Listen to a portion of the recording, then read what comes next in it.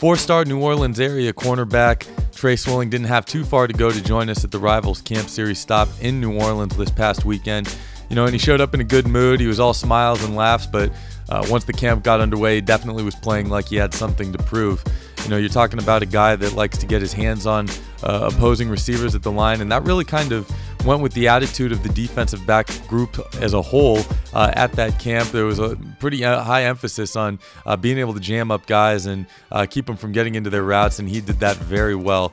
Uh, out of the seven reps that we had him taking during the camp, he only, he only lost two of them, and uh, did a good job of you know just dis- being disruptive.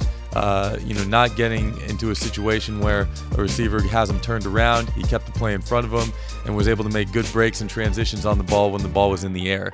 Uh, this is a guy that at 6'1, about 185, uh, isn't too too big to handle smaller, quick guys, uh, but does have enough size to go up against some bigger guys. And we saw him uh, get a win against Mustafa Muhammad, a big 2018 tight end prospect, uh, in the one-on-one sessions as well. So he's a guy that looks very fluid, very comfortable, and very aggressive on the defensive side of the ball, and uh, was definitely one of the top performers at Rivals Camp Series New Orleans.